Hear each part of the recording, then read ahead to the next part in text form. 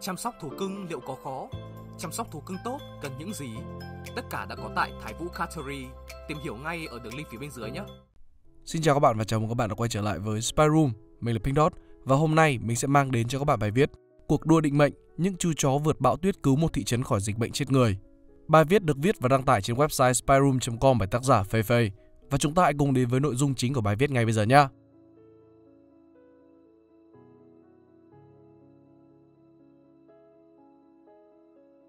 Câu chuyện về chó Banto, Togo và những chú chó kéo xe là một trong những giai thoại có sức ảnh hưởng nhất về loài chó đối với người dân Mỹ, đồng thời góp phần thay đổi góc nhìn của nhiều người về loài động vật đáng yêu này.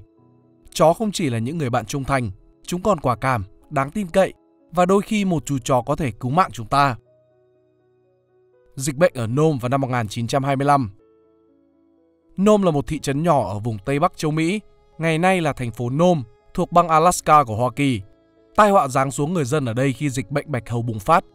Trẻ em mắc bệnh bạch hầu có tỷ lệ tử vong rất cao, trong khi huyết thanh chữa bệnh thì chưa được phổ biến vì mới được phát minh trước đó không lâu. Còn vaccine thì còn đang trong thời gian nghiên cứu. Bệnh bạch hầu có thể đặc biệt nguy hiểm với các cộng đồng bị cô lập như là Nome.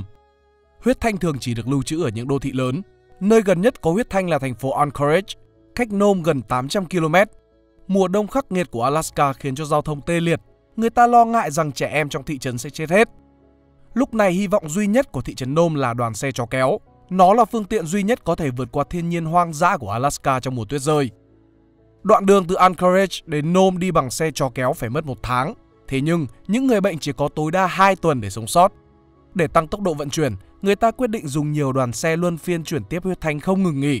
Những người chịu trách nhiệm là các thợ huấn luyện chó, gồm Wild Bill Shannon, Leo Haspala một người Mỹ gốc Na Uy, Charlie Olson, Gunnar Kazen và một số người khác.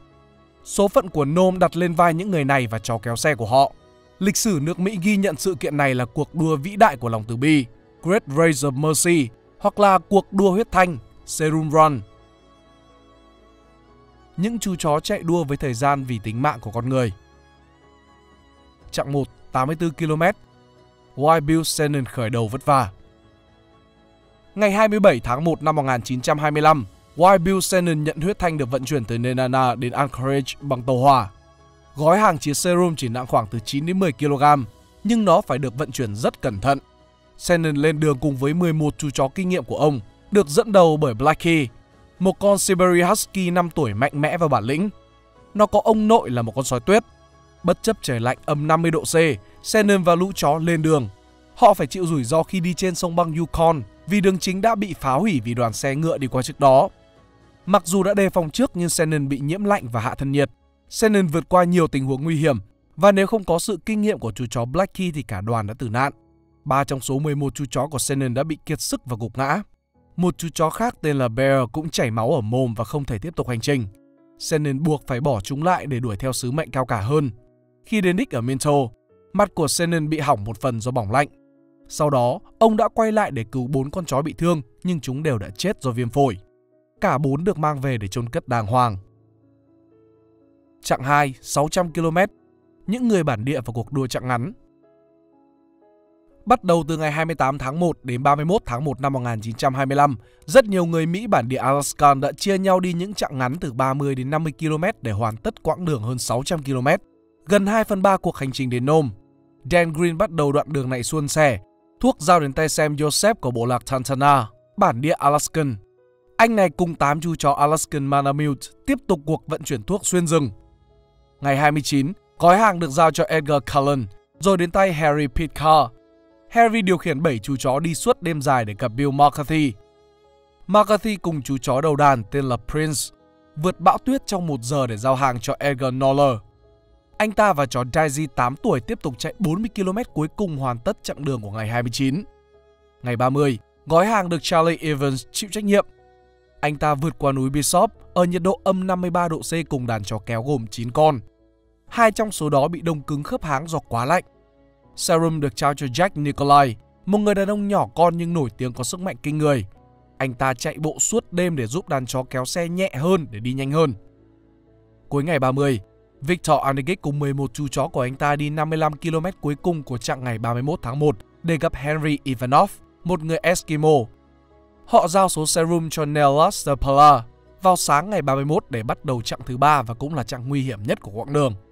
Lúc này serum chỉ còn cách đích đến Nôm 321 km, nhưng ở Nôm đã bắt đầu có 6 đến 7 người chết vì bệnh bạch hầu. Chặng 3 Sepala và Togo, chú chó có trái tim sư tử. Sepala và nhóm 6 chú chó Husky đã vượt qua chặng đường dài và nguy hiểm nhất cuộc đua. Togo là chú chó ngoài cùng ở bên trái. Leonard Sepala, người kinh nghiệm nhất trong số những nhà huấn luyện chó được nhắc đến ở đây. Ông ta đã 48 tuổi và chỉ có đàn chó 6 con được dẫn đầu bởi con chó Togo và Scotty. Họ chịu trách nhiệm vượt qua quãng đường 146 km được cho là khó nhằn nhất. Lúc này, thời tiết lạnh âm 30 độ, đỡ lạnh hơn rất nhiều so với nhiệt độ mà Senum phải chịu trước đó. Nhưng trời tối và gió quật mạnh. Sapala phải vượt qua 20 dặm đường trên mặt nước đóng băng cực kỳ nguy hiểm. Tuyết bắt đầu rơi dày, bão tuyết đã đến. Họ không thể dừng lại. Tất cả những gì Sapala có thể tin được lúc này là khả năng đánh hơi và định vị của Togo. Nó giúp cả nhóm tiếp tục di chuyển cho bão tuyết. Tạm nghỉ bên đường trong một cái lều của người Eskimo, Sepala cho lũ chó nghỉ ngơi và ăn. Ông hâm nóng lại serum để chúng không hỏng. Dạng sáng ngày 1 tháng 2, đó là ngày chủ nhật, bão tuyết vẫn không bớt chút nào. Togo dũng cảm cứu cả nhóm khi xe kéo bị sụp xuống bên dưới lớp băng và nước lạnh. Nó đã bơi qua những tảng băng trôi để kéo chủ mình lên. Cuối cùng, Sepala cũng tới được Clovin. Ông trao lại serum cho Charlie Olsen. Sepala nhớ lại, tôi chưa bao giờ có một con chó tốt hơn Togo. Sức chịu đựng, lòng trung thành và trí thông minh của nó là không thể vượt qua. Togo là con chó cừ khôi nhất từng rong ruổi trên cung đường mòn Alaska. Chặng 4, cho Balto và thử thách cuối cùng trong bão tuyết và băng trôi. Trưa ngày mùng 1, sau khi nhận hàng từ Sapala, Charlie Olson cùng đàn chó gồm 7 Alaskan Malamute được dẫn đầu bởi Jack đi từ Glovin đến Bluff. Gió giật mạnh khiến Charlie và đàn chó bị đánh giạt ra khỏi đường chạy. Cơn rông sắp đến buộc Charlie phải dừng xe và đắp chăn cho lũ chó. Tuy nhiên, hai trong số chúng bị đồng cứng khớp háng. Charlie bất chấp và tiếp tục lên đường. Họ tới Bluff vào lúc 7 giờ 30 tối để gặp Gunnar Cousins, đang chuẩn bị cho chặng cuối cùng. Gunnar Cousins là người dạy chó 42 tuổi chờ sẵn với đàn chó 13 con, được dẫn đầu bởi Balto. Con chó được cho là chậm nhất trong đàn của Cousins và thông thường ông không bao giờ dùng nó để đi đua hay là dẫn đoàn. Thế nhưng lần này Cousins đã chọn Balto để hoàn thành 90 km cuối cùng, thử thách vượt quá năng lực của con người đang chờ ở phía trước. Bão tuyết dữ dội ập đến, nó sẽ chỉ tệ hơn đi mà thôi. Carson chấp nhận điều đó và ông buộc phải lên đường. Gió quá mạnh và tuyết mù trời làm cho Carson mất phương hướng. Các dòng chảy của tuyết và băng trôi cộng thêm với hiện tượng khúc xạ ánh sáng khiến cho ông không thể dùng những giác quan thông thường của con người để nhận định hướng đi nữa. Thậm chí, ông không còn thấy được đàn chó đang chạy ở phía trước mình vì mọi thứ đều trắng xóa. Carson buộc phải hoàn toàn tin tưởng vào con chó Balto. Nó dẫn đầu, giữ cả nhóm 12 con chó khác di chuyển đúng hướng. Balto chậm nhưng mà nó chắc nó đi đúng đường bằng giác quan nhạy bén, vượt qua những dòng sông băng đang trôi xuống từ đỉnh núi Top Cock. Gió lớn làm xe kéo bị trượt, gói hàng chứa serum văng ra và bị tuyết vùi.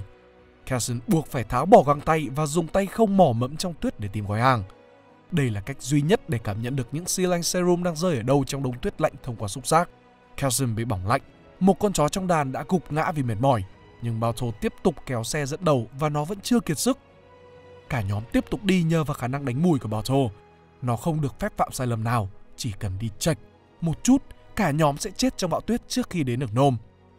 Họ phải tự cứu mình và vượt qua cơn bão này trước khi nghĩ đến việc cứu ai đó.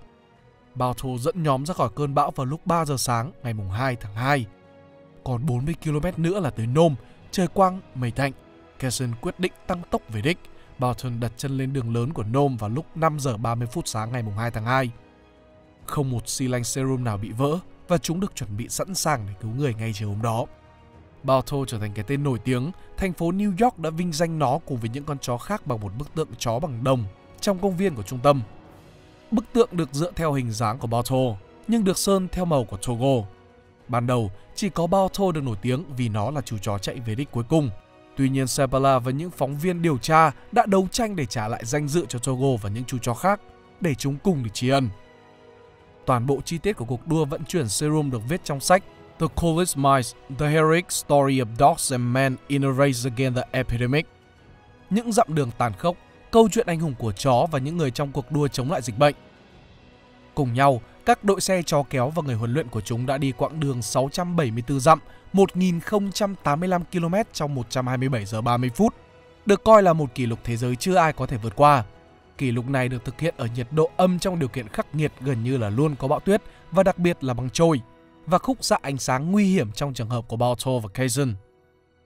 Balto qua đời vào năm 1933 ở tuổi 14, thi thể của nó được nhồi bông, lưu giữ cho khách tham quan trong bảo tàng lịch sử tự nhiên Cleveland ở bang Ohio.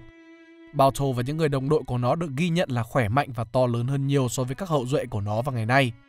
Ngày nay, chó Siberian Husky và Alaskan Malamute đa số được nuôi làm cảnh.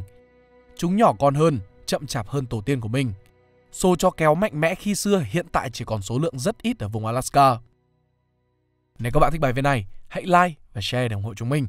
Đừng quên bấm nút subscribe và nút chuông bên cạnh để không bỏ lỡ video nào bọn mình ra trong tương lai. Cảm ơn các bạn đã lắng nghe. Đây là Spy Room, còn mình là Pink Dot. See ya!